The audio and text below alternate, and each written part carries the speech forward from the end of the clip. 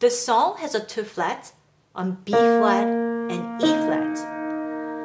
If it has a two flat, it will be either B flat major or if it's a minor, it will be G minor. Now, if you're looking at the beginning of the score, it starts with the G and G minor chord. So definitely this song is in minor, G minor. Now let's go over from the beginning. The first measure, left hand, starts with the G whole note and then on bass clef you will see RH above the 16th note RH. That means even if it's in the bass clef, want you to play with right hand instead of left hand. So instead of going like this, play with the right hand, G, B flat, D, and then right after that, on treble clef, you will play with your left hand instead of right hand. It's left hand over. Do you see it on treble clef? LH over means left hand over the right hand. Go up. G, A, B. Okay? Now, at the first measure, if you see it, right hand chorus, play the same thing. One, two, three, four. Four time. But to make it easy, I will just block it and then we'll just keep holding it. Because right hand doesn't change, but left hand keep changing by crossing over. So this one actually make you confusing. So if you remember your position and melody lines on left hand, it's much easier to play it. So first, when you learn the song, block the right hand chord, just leave it and play left hand over right hand. Let's go from beginning. One, two, three, four. One, two, three, four. Left hand, again F, and then the C chord.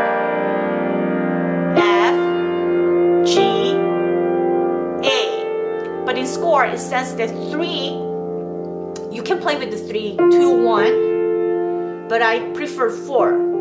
If I start with the three, my thumb is too short, and then since I'm crossing, it's uncomfortable. So I will start with the four. Some people prefer three. Why? Because finger number four is weak finger, so it's uh, hard to you know uh, adjust it. So it's up to you. If you are okay, three, two, one, or four, two, four, three, two, it really doesn't matter. Now let's go. F,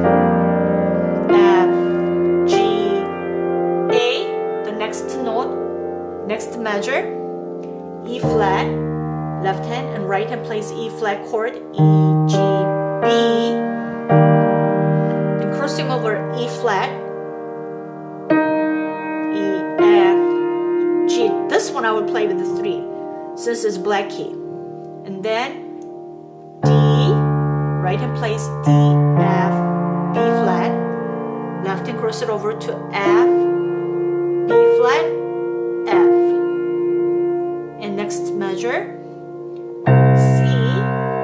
E, G, C, right And crossing over to E flat, F, G, and going back to B flat next to measure,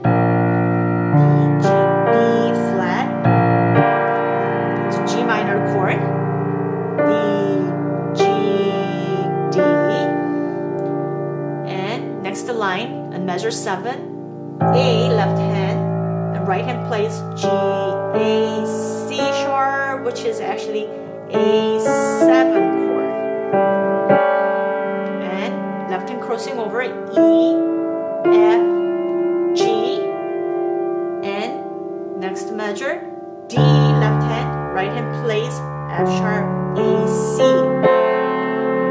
F, G, A. Now up to here, the first page, we'll go over again.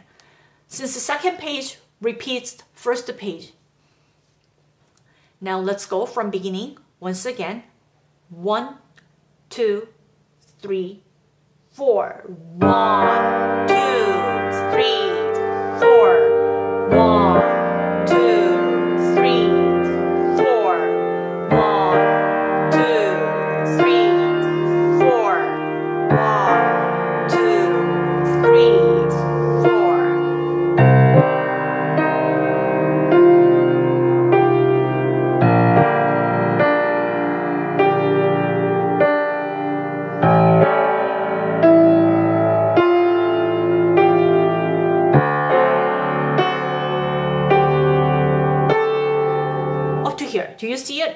easier. If we just leaving out the right hand, just block the chord. That's what we call blocking chord. Instead of playing separate, like a block, making a block and just keep holding it because it's the same note. Then you practice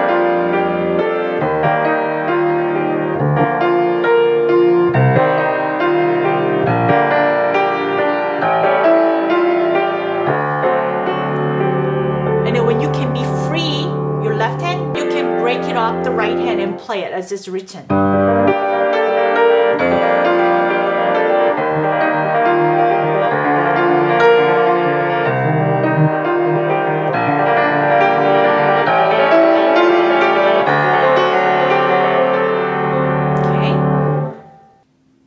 Now, moving on to second page.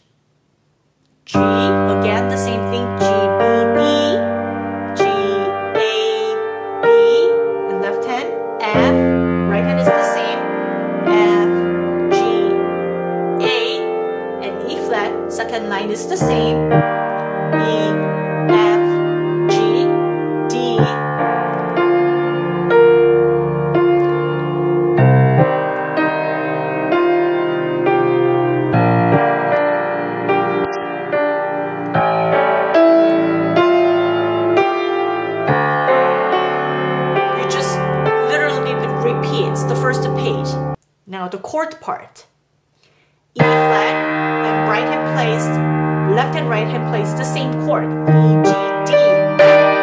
And then coming down, now these two are stay, coming down, D to C. So you play, and then left hand, E flat, and E natural. So slide down.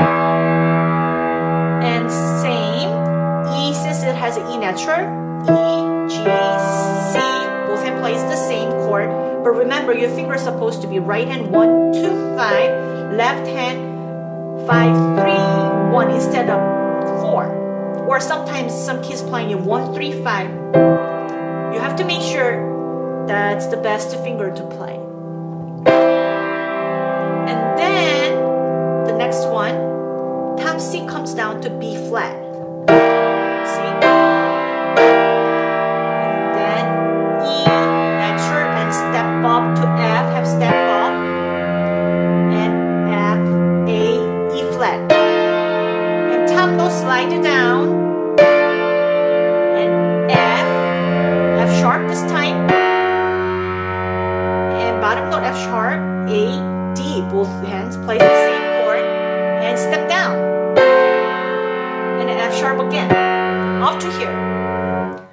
Now, if you see it, it has a pattern. Left hand E, half step up, from that note to half step up, then note half step up, half stepping up. And chord, bottom doesn't change, but top keep changing.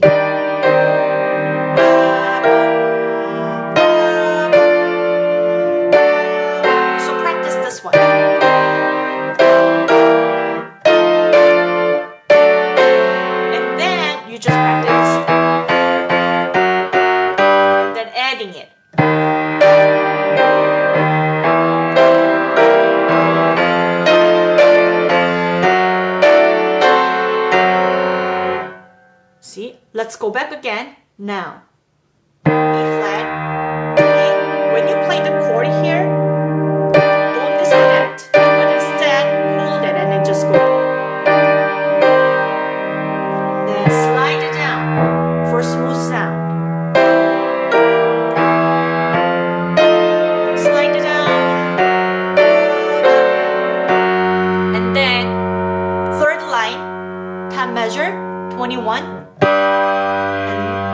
next note B flat D G.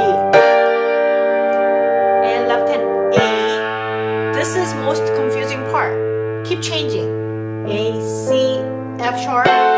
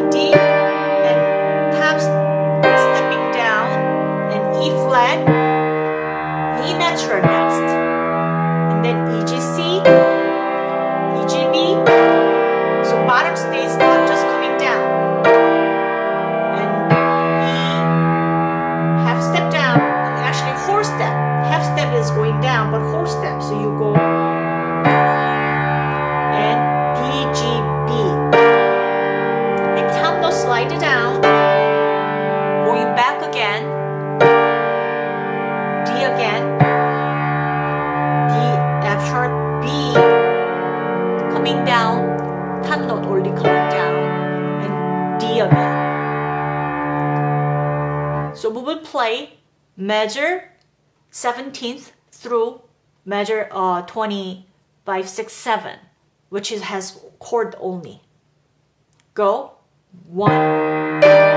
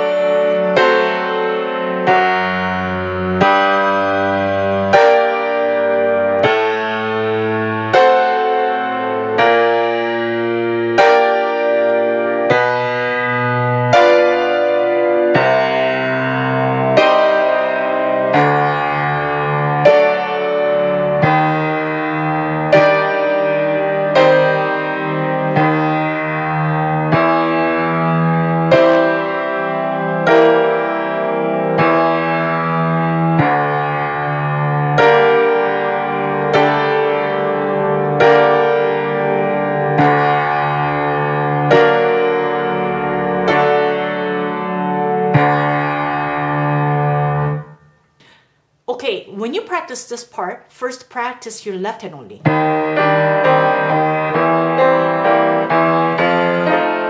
When you can play it really well on left hand, add it right hand because right hand literally plays the same note as left hand. But left right hand plays once in a while, but left hand keep on playing it. So and switching even hand position. So it's better to practice left hand only first. Okay. Now, if you're looking at the coda part, that's the very last part. After up to here, you will go back to very beginning and come to to coda and then jump it to another coda part, which is very last two line. So I will just go over from the very last two line right away. G, G, B, D, G flat, G, B flat, D, right hand just literally plays G minor chord, and then left hand B flat, and plays the same note G,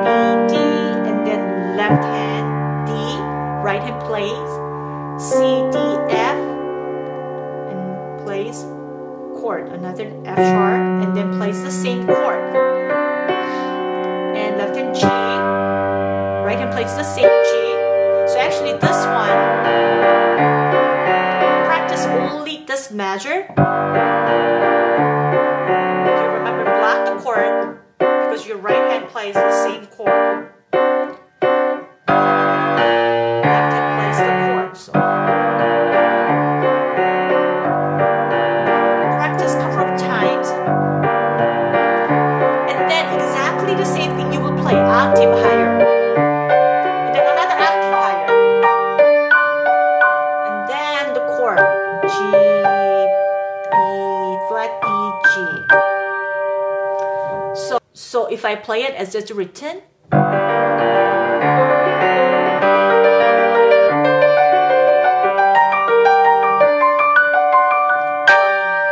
two. Okay. Now, and then chord, after the rest, you have the same chord coming down. And then exactly the same chord coming down again. But you will see little grace note, eighth note with little slash on it. That means. So play it G only and then right away. That's the chord you're supposed to play. I will play it slow this time, doing the capo and go to coda in slow tempo. Let's go. One, two, three, four.